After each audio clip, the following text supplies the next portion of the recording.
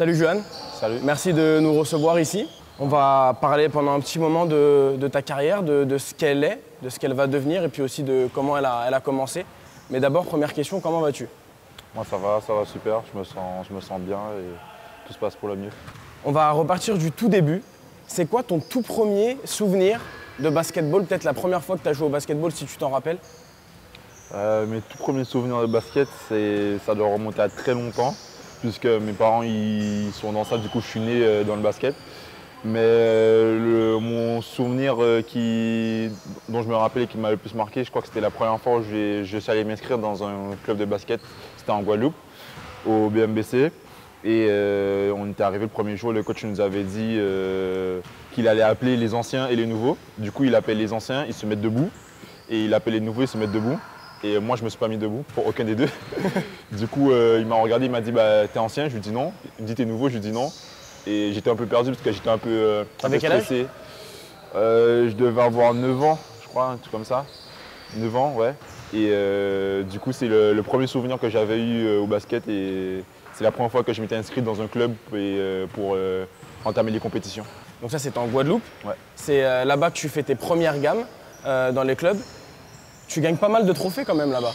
Bah, quand, j'ai été en Guadeloupe, euh, je crois que j'ai quasiment euh, gagné ou été finaliste de, toutes les compétitions. En poussin, je crois que j'ai tout gagné, c'est en U11. U13, euh, j'ai fait finaliste, je ne me rappelle plus trop si j'avais gagné. Et U15, j'ai gagné aussi des, trophées. ensuite, ma dernière année U15, j'ai joué avec les seniors de la Guadeloupe. Et là, on a fini vice-champion. Et par la suite, je suis arrivé en, France euh, métropolitaine pour euh, commencer ma carrière euh, à l'INSEP et en équipe de France. Alors justement, raconte-nous comment se passe le grand déménagement, comment tu passes en France, comment tu rejoins l'INSEP, ça se fait comment? Avant, avant de rejoindre l'INSEP, il y a beaucoup d'étapes. Il y a d'abord le, le, CIS, le, camp national, puis les tests INSEP. moi, j'ai participé aux trois. J'ai fait le 6 où j'ai été euh, retenu euh, pour faire le camp national, le camp national où j'ai été retenu pour euh, faire les tests INSEP et à la suite des tests INSEP, là il y a une liste officielle de, nombre de joueurs définis, je ne sais pas exactement, ça varie en fonction des années, qui, vont intégrer l'INSEP. Et moi je faisais partie de cette liste. Mais à la base j'étais venu en France pour l'équipe de France c'était U15 parce que j'avais été appelé avec un an d'avance Malheureusement, je n'ai pas été retenu. Du coup, j'ai fait les. Euh, non, j'ai été appelé pour les U16 et j'ai fait les U15 après, du coup. D'accord. Et euh, j'ai pas été retenu chez les U16, du coup, j'ai fait les U15. Là-bas, on a perdu, euh, on a fini deuxième du tournoi, c'était le tournoi de l'amitié. Et par la suite, j'ai directement, directement intégré l'INSEP. C'est à ce moment-là que tu comprends que le basket, ça va être une partie intégrante de ta vie? J'ai commencé à le comprendre un peu, un peu avant, puisque j'ai préparé euh, mon, entrée à puisque c'était un rêve euh, que j'avais quand j'étais tout petit, quand j'ai commencé le basket. C'était un objectif. Et du coup, euh, je me suis préparé quand j'étais au pôle avec mes coachs qui savaient que j'avais le potentiel et le, niveau pour y aller. Du coup, je me suis préparé à y aller et je savais qu'une fois que je serais là-bas, ça serait le, début du grand aventure pour moi, puisque je savais que par la suite, j'aurais pu intégrer des clubs professionnels et après la NBA. Quand tu signes à Paris, euh, tu es déjà riche de tes expériences au euh, Adidas Next Generation Tournament, où tu te mets en valeur, euh, et du, Paris, et du Basketball Without Border en Europe. Tu termines MVP. À ce moment-là, tu es quel joueur? À vrai dire, quand j'ai fait le Adidas Next Generation, c'était pas mon année, puisque normalement c'est un tournoi pour les, dernières années, les, les U18 dernières années. Et euh, moi, j'étais en première année. Du coup, j'ai été au tournoi euh, un peu dans l'optique de montrer euh, ce que je valais là-bas. Et je savais que je devais montrer le meilleur de, moi-même. Du coup, je me suis laissé porter par le truc. J'ai commencé le, premier, le premier match, j'ai taffé. Et au fur et à mesure, bah, c'est venu petit à petit. Et au final, j'ai fait un excellent tournoi, mieux que, ce que je pensais même. Et euh, du coup, euh, j'étais assez satisfait de moi. C'est là que j'ai compris aussi que j'avais passé un palier à l'INSEP puisque c'était ma deuxième année. J'avais compris que j'avais passé un palier puisque je me suis rendu compte que dans un tournoi il y avait des, jeunes mais qui étaient plus, plus âgés que moi, que je pouvais être dominant. Du coup, j'avais compris que c'était un, pas de, plus pour moi. Ensuite, le basketball Borders, c'était Là, pour le coup, je, suis allé dans l'optique de, me montrer le plus possible parce que je savais que c'était une étape importante pour la NBA, pour l'Europe, montrer que j'étais en Europe, que j'étais un joueur dominant et que euh, l'un des meilleurs. Du coup, pour moi, ça, c'était vraiment une étape importante. J'ai été là-bas dans l'optique de, montrer euh, mon niveau et bah, du coup, euh, c'est ce que j'ai réussi à faire de la meilleure des manières. Est-ce que tu peux nous raconter comment se passe ta signature au, Paris Basketball Qu'est-ce qui t'attire Qu'est-ce qui te donne envie d'y aller? Est-ce qu'il y a d'autres euh, clubs qui, t'ont contacté normalement? Est-ce qu'il y a des gens qui t'ont conseillé? Il y a quelqu'un en particulier qui t'a donné envie d'aller là-bas? Ma, signature au Paris Basketball, c'est euh, un, euh, peu, bah, je dirais, de la chance, puisque j'étais pas censé quitter l'INSEP au bout de deux, années, puisque le cursus à l'INSEP, c'est trois ans. Mais au bout de la deuxième année, j'ai senti que le temps était venu pour moi d'aller évoluer encore plus dans, une équipe professionnelle. Du coup, euh, j'ai pas eu énormément de propositions parce que j'étais pas sur la liste des sortants à la base. Donc euh, les clubs ont été euh, avertis en retard de, ma sortie. Du coup, j'ai pas eu l'occasion de, de faire beaucoup de visites et de faire beaucoup de rencontres avec les coachs et le staff. Et pourquoi Paris du coup? Bah, puisque j'ai euh, entendu parler euh, du Paris Basketball, fait mon père avant, puisqu'il a entendu que c'était un nouveau club qui venait de monter en Pro donc on savait que c'était un club en construction. Donc c'était les, premiers échos qu'on a, eu par rapport au club, donc il m'a dit que pourquoi pas, ça se trouve c'est un club qui, va chercher des, jeunes, qui va euh, chercher à se construire. Et par la suite, j'ai entendu parler du coach et de son, envie de faire jouer les jeunes et de les faire progresser. Du coup, il, il, était venu de nos matchs à l'INSEP qu'il avait trouvé très intéressant pour moi. Donc il a, il a contacté l'INSEP et euh, on a organisé une rencontre, on a discuté. Il m'a expliqué euh, le projet du club et euh, j'ai été séduit par, cela et par la suite j'en ai, discuté avec mes parents et c'est ce qui m'a donné, donné envie de venir au Paris Basketball et qui fait qu'aujourd'hui je sois là. Est-ce que tu en as discuté aussi par exemple avec ton frère? On sait que c'est aussi un basketteur professionnel qui est plus âgé que toi, qui est en JP Elite aujourd'hui.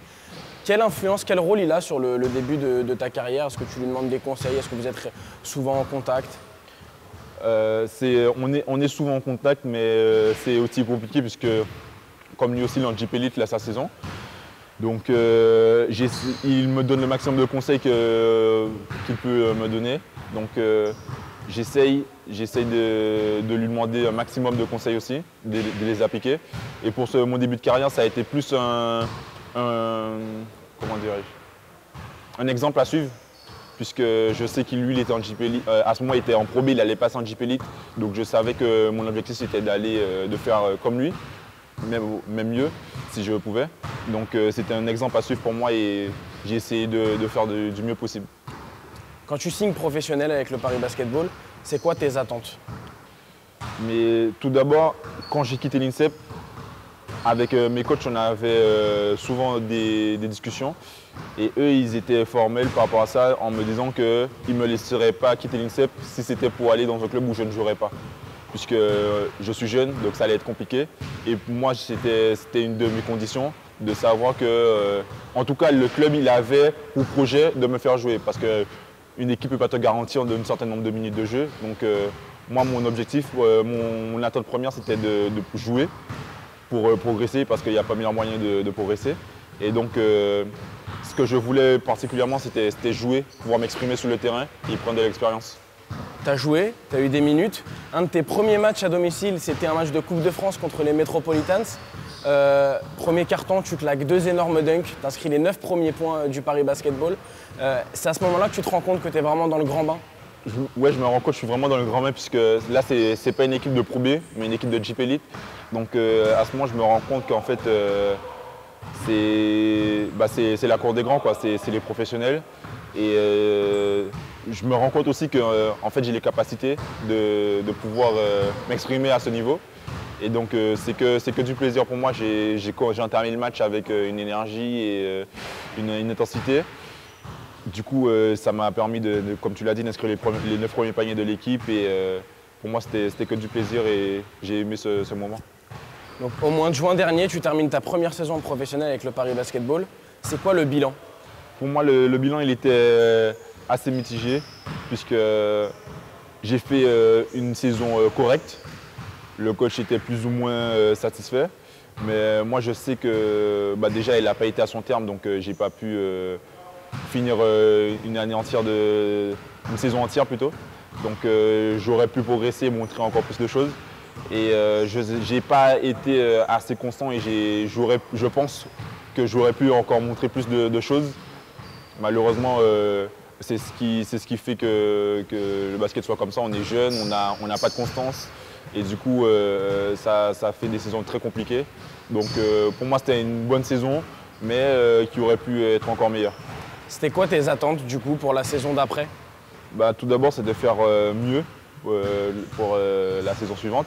Ensuite, euh, il y avait les objectifs du club qui étaient euh, la montée en JP Elite, mes objectifs personnels qui sont euh, d'aller à la draft et d'aller en NBA. Donc c'était de faire mieux déjà, ça c'est sûr. Et ensuite, j'avais pour objectif de, montrer que j'étais plus un jeune et que j'étais un joueur à part entière de, de, et pouvoir dominer au mieux ce, championnat.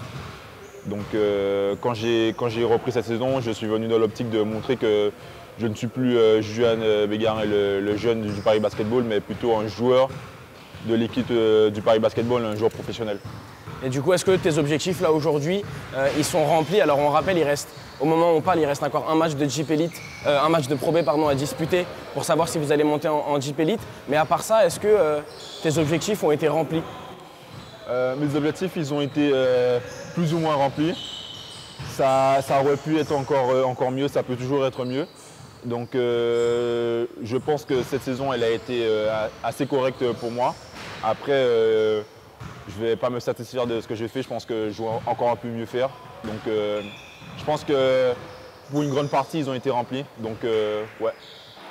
Dans ce processus de montée en puissance cette saison, quel a été le rôle de tes coéquipiers Je pense notamment aux plus anciens, à Marassi, Nobel Bongukolo, et puis même Ryan Boatwright récemment, qui a l'air de faire pas mal de bien à l'équipe? Bah, c'est des joueurs expérimentés qui, euh, personnellement, quand je suis arrivé au Paris Basketball, je ne m'attendais pas à une, euh, une, aussi bonne ambiance et une aussi, bonne entente avec ce, genre de joueurs. Moi, j'avais plus euh, la vision des choses.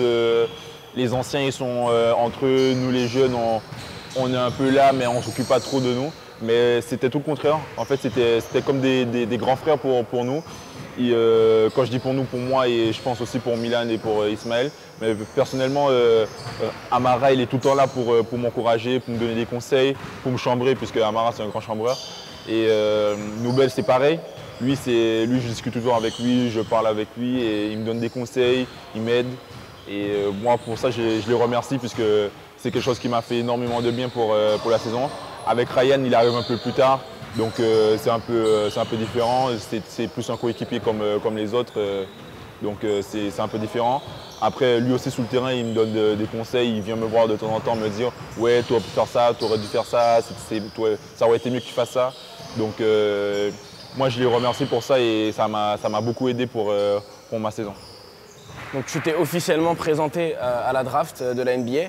Avant de, passer sur cette parenthèse américaine qui va sûrement s'ouvrir pour toi, ça te tient à cœur de, faire monter le, club du Paris Basketball en, en Jeep Elite? Ça me tient vraiment, vraiment à cœur puisque ça pourrait être euh, mon premier, euh, mon premier euh, trophée entre guillemets en France puisque depuis que je suis en France, j'ai aucun palmarès, j'ai rien gagné puisque j'ai fait l'INSEP, on ne joue pas de compétition et par la suite je suis arrivé au Paris Basket, du coup c'est mon premier club et moi ça me ferait vraiment plaisir, surtout pour un jeune club, de savoir que Juan Bégarin a aidé le Paris Basketball sur sa troisième année à monter euh, en Jeep Elite. Donc euh, pour moi, ça serait, ça serait un honneur et que du plus.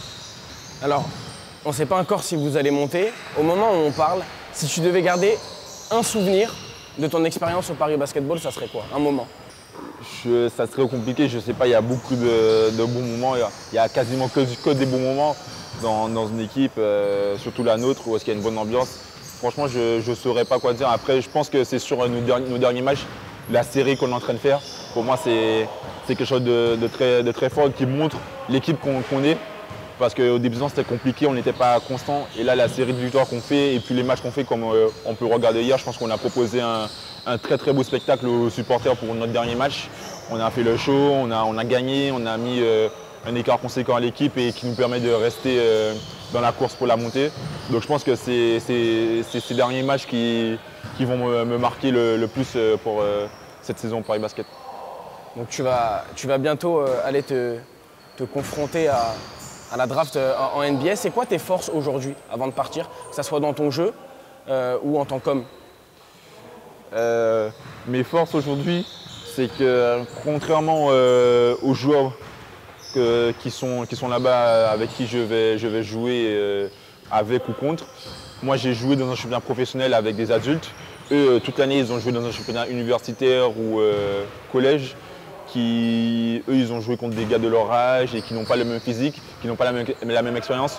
Donc euh, au niveau euh, des impacts physiques et euh, du QI basket et de l'expérience, je pense que ça sera une force pour moi là-bas puisque le jeu aux États-Unis n'est pas pareil qu'en France. Et je pense que j'ai les capacités pour m'adapter à leur jeu. Et en plus de ça, rajouter le jeu européen dedans, c'est-à-dire avec des, passes, de l'expérience, des, choses qu'ils n'ont pas. Donc euh, je pense que ça, ça va faire euh, ma force. Et euh, vu que cette année, j'ai beaucoup travaillé individuellement avec mon coach perso, ça m'a encore plus apporté. Je pense que c'est sur ces points que je pourrais dominer quand je vais me confronter à ce genre de joueur.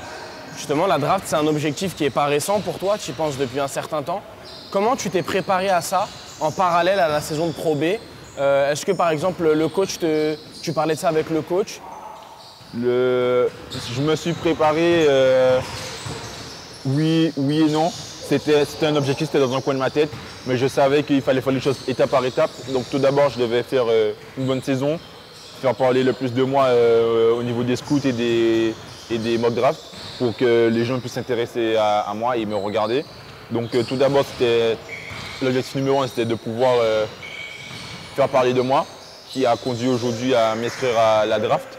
Donc euh, ah, maintenant, c'est fait, j'en ai, je, suis, satisfait. Et le coach, il m'en parlait souvent. Il savait que, que j'avais le talent et le potentiel pour y aller.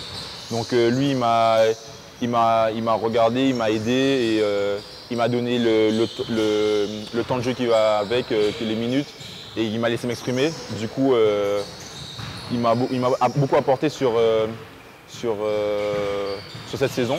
Et donc, euh, je, suis, je suis fier de ça et satisfait. Comment, quand on a 18 ans, comment on, se déconnecte un petit peu du, basket quand on a de tels objectifs? Bah, Justement, comme tu dis, on a 18 ans. Du coup, on a, beaucoup de, choses à, faire. Après, c'est compliqué de se déconnecter du basket puisqu'on fait ça euh, tous les jours, toute l'année. Donc on passe quasiment plus de temps avec nos coéquipiers, euh, nos coachs qu'avec euh, notre propre famille. Donc euh, je ne pense pas qu'on se déconnecte, mais je pense que dès qu'on a un moment de, temps, on essaie de faire autre chose pour pouvoir faire passer le temps et, s'amuser, penser à autre chose et se vider la tête. Qu'est-ce que tu aimes faire toi quand tu fais pas du basket à côté? Moi ce que j'aime bien faire c'est passer du temps avec ma famille, avec mes frères, jouer à la console comme tous les jeunes, regarder des films, sortir un peu. Je ne suis pas, je suis pas un, gars qui sort beaucoup souvent, mais j'aime bien euh, de temps en temps euh, aller faire autre chose.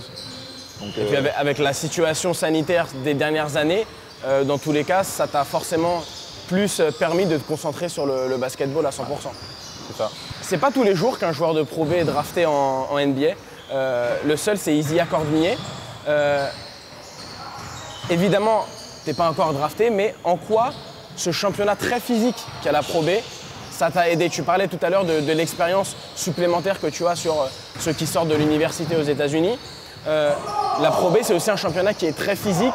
Euh, tu penses que ça va être un avantage, ça, pour toi, notamment sur l'aspect défensif, peut-être? Je pense que ça va être un avantage parce que le championnat universitaire, c'est des joueurs très physiques et athlétiques. Mais comme je, te l'ai dit, c'est des joueurs qui ont leur âge. Donc, il n'y a pas vraiment de joueurs qui dominent. Alors que moi, j'étais plus contre des adultes, donc euh, physiquement ils, étaient dominants. Donc je pense que le championnat de Pro B, le fait que ce soit un championnat très physique, ça, va beaucoup m'aider pour euh, pouvoir, euh, comme tu l'as dit défensivement, mettre des impacts sur les joueurs aux États-Unis. Donc je pense que c'est un, plus pour, moi et qui va me permettre de, me démarquer des, autres joueurs américains. Tu as, été MVP du Basketball Without Borders en Europe. Tu as été nommé dans le 5 du Basketball Without Border euh, aux États-Unis. Mais je sais que tu es sévère avec toi-même. Je me rappelle que tu avais dit que tu avais été déçu de ne pas pouvoir euh, être MVP euh, sur l'édition aux États-Unis. Donc tu as vraiment des, des ambitions. Jusqu'où tu te projettes? Jusqu'où tu veux aller? Là aujourd'hui, tu as 18 ans, tu vas te présenter à la draft. Jusqu'où tu te vois aller? Moi, pour moi, il y a. Tant que tu travailles, tant que tu te donnes le moyen d'y arriver, il n'y a, rien qui peut, qui peut t'arrêter. Bon, mis à part euh, les, euh, les aléas de la vie, euh, qui peut être une blessure, un accident peu importe. Pour moi, si tu travailles, tu te donnes les moyens, bah, tout, peut, tout peut arriver. Je pense que j'ai la capacité d'être un grand joueur français, européen et même un très grand joueur en NBA. Donc pour l'instant, je ne vois pas je me dirais pas que je pourrais aller jusque là, mais je pense que je suis encore jeune et que j'ai le moyen de progresser et d'aller très loin. Donc euh, on verra par la suite et euh, j'espère aller très loin justement. La NBA c'est un challenge qui est énorme. Forcément il y, a un côté stressant mais aussi un côté excitant. Qu'est-ce qui prend le dessus entre les deux? Je pense qu'il n'y en a pas un qui prend le dessus sous l'autre. C'est euh, un mélange des deux qui crée une sensation un, peu, un peu bizarre, un peu de plaisir, un peu de peur. Puisque tu vas en NBA, tu es content, mais tu vas dans un autre pays où est-ce que les, lois et la vie elle est différente, donc ça, ça fait peur. Sans sûrement euh, la majeure partie des joueurs sans leur famille, sans, euh, vraiment de, points d'appui là-bas à part euh, les agents et les, joueurs et si tu, as quelques connaissances là-bas. Donc tu, vas dans un autre environnement, ça, ça, fait peur. Surtout au vu de l'actualité de nos jours, ce qui se passe avec bah, par exemple le racisme, moi je suis un homme de couleur, euh, je sais que c'est quelque chose qu'il faudra que je fasse attention puisque je ne sais pas du tout comment ça se passe là-bas. Mais après euh, il y a le, bon côté puisque je vais jouer un NBA donc euh, c'est le plus haut niveau qui puisse exister dans, le basket. Donc tu as un côté où est-ce que tu es, tu satisfait et très excité d'aller là-bas, de te confronter aux joueurs américains et les meilleurs joueurs qui sont, qui sont là-bas déjà. Justement, tu l'as dit, tu vas te frotter aux meilleurs joueurs de la planète, en tout cas essayer de t'y frotter. Quels sont ceux qui t'ont le plus inspiré dans ton parcours? Que ce soit des joueurs européens ou euh, de NBA Je dirais euh, LeBron James, puisque pour moi c'est le, meilleur joueur actuel et l'un des meilleurs joueurs de tous les temps. Après, euh, évidemment, Michael Jordan, même si je n'ai pas connu, au moment où il jouait sa carrière, j'ai beaucoup regardé de vidéos, d'highlights de, lui. ensuite, dans mes joueurs actuels, mes joueurs préférés, il y a Kyrie Irving, que j'aime beaucoup regarder, puisqu'il a beaucoup de, de, skills, de moves et, c'est plaisant, euh, c'est vraiment satisfaisant à regarder. Ensuite, euh, un joueur à qui je, me compare, c'est Russell Westbrook, puisque c'est un joueur athlétique. À la base, moi, je n'étais pas un, joueur qui, était capable de mettre euh, énormément de shoots, bah, en général à 3 points ou à 2 points. Lui, du coup, j'étais un peu dans, son profil, un joueur athlétique, et du coup, je me compare beaucoup à lui, et il m'a beaucoup inspiré dans, le jeu. Ensuite, en Europe, il y a Nando De Colo, puisque j'aime bien euh, la, façon dont il joue. C'est pas un joueur euh, hyper athlétique, mais hyper intelligent et, euh, qui, sait jouer avec ses qualités. Donc c'est des joueurs que, j'apprécie beaucoup. Et j'aime bien aussi Mike James, puisque c'est un joueur américain mais qui joue en Euroleague. Et pour moi, qui est, l'un des meilleurs joueurs de, de l'Euroleague et qui l'a montré plusieurs fois.